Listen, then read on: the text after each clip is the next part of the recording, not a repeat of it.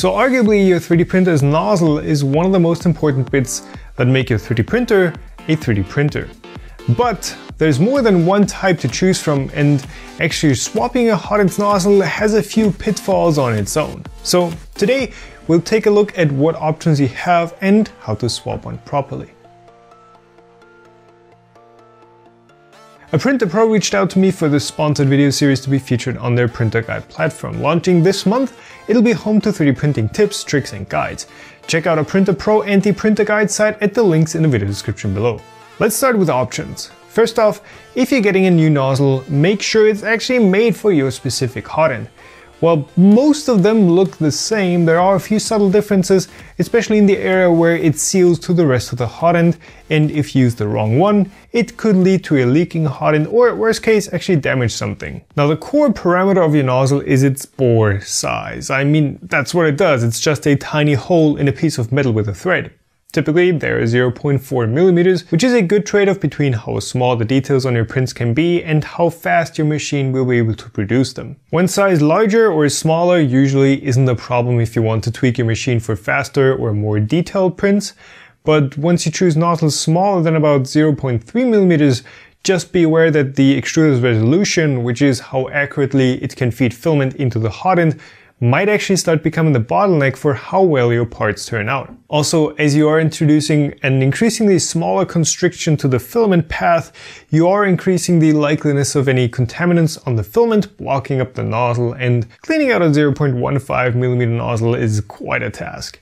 But you do get the chance of creating absolutely stunning 3D prints that have completely invisible layer lines and super fine details, as it also allows you to use lower layer heights more effectively. On the other hand, a larger nozzle will speed up your prints, as not only will it cover a wider track, in the same movement, but you also get the option of using taller layers. While a 0.4mm nozzle realistically tops out at around a 0.3mm layer height, a 0.6mm one will take it to around 0.45mm layers. Of course, this means coarser and less detailed prints, and without also switching to something like a volcano heater block, it's easy to end up with extruded filament that didn't get heated up well enough before it leaves the hot end, as you're sending it through the heater block much more quickly. 1.75mm filament actually does much better with this, as the heat from the block needs to travel through a much thinner section of plastic to heat the entirety of the filament. So, nozzle materials. We've seen a ton of new options recently. The material for standard nozzles is still brass, which is used because it conducts heat reasonably well, it's reasonably hard, and most importantly is super easy to machine, which matters for the comparatively tiny and long bore it has. The other popular set of materials are steel-based, conducting heat not quite as well, but being much harder wearing, which is great for abrasive filaments like fiber-filled ones, or simply for not having to worry about replacing a nozzle ever if you're printing standard filaments. Some hot ends come with stainless steel nozzles, which are generally used for food-safe applications or for printing with chemically aggressive materials, but a hardened or coated steel nozzle provides much better durability and better heat transfer. Because these nozzles add extra manufacturing steps and are harder to machine, they are generally more expensive, but I found that there is little need to switch back and forth between steel and brass nozzles, as the steel versions also print standard materials well. An option that is fairly new are copper nozzles, which offer great thermal properties, useful for pumping as much heat as possible into materials that require high print temperatures like PEEK or polycarbonate. These are E3D's nickel coated ones and they also work well for standard materials but aren't specifically designed for extra wear resistance. Bare copper will oxidize extremely quickly. We're now also seeing assembled nozzles, as for example the Markforged ones which are copper with a hardened steel insert, or the Olsson Ruby nozzle which is brass with an actual ruby gemstone insert. But those are extremely specialized parts which come with a steep price tag. So how do you swap a nozzle without ruining your hot Well, there are a ton of different hot end designs out there. This process should work for most hot ends that use this style of nozzle. If in doubt, check with your manufacturer first. You'll need a wrench or a socket the right size for your nozzle, which is commonly 7mm, as well as a wrench or some pliers to hold your hot end in place.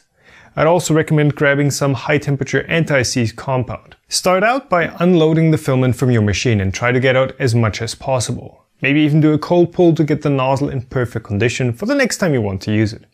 Then heat up the hot end to a normal working temperature around 220 degrees. And if you're using an E3D style hybrid or all metal hot end, I'd recommend starting out by slightly unscrewing the heater block from the heatsink to give the fragile stainless steel heat break a bit of wiggle room. Remember, righty tighty, lefty loosely, and this shouldn't take much torque at all.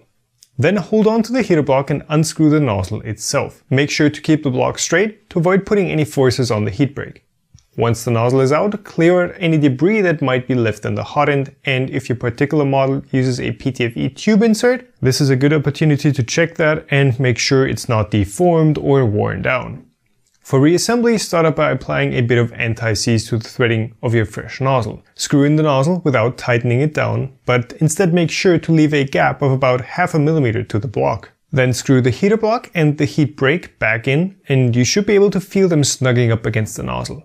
Again, no need to make everything tight yet. Lastly, screw in the nozzle all the way and double check that you've still got that gap between the nozzle and the block. To finally tighten everything up, heat up the hot end a bit further. Around 250 degrees should be plenty, but if your hot end can do 300 degrees Celsius, that's even better. Tightening when heated up makes sure that thermal expansion isn't going to loosen the parts over time. The torque the nozzle needs isn't huge. For comparison, I'm just using two fingers on this Tamiya tool, which is plenty, and about 1 Newton meter. Hold on to the heater block initially, then give the entire assembly a bit of torque to snug down the heat break. Now, again, depending on how your hot end is built, the process might be a bit different, but what I just showed you should give you a good idea of where to be careful. Alright, so let me know in the comments below what type of nozzle you're using. Still sticking with the classic brass or have you already upgraded to hardened or copper for those advanced materials? So I hope this video was helpful to you. If you liked it, give it a thumbs up, consider subscribing to the channel, and because YouTube is still being weird about it, remember to also click that bell next to the subscribe button or you might end up missing some videos altogether. If you want to support this channel with a spare dollar or two, head over to Patreon and get access to monthly Q&A, hangouts and more. That's it for today, thanks for watching and I'll see you in the next one.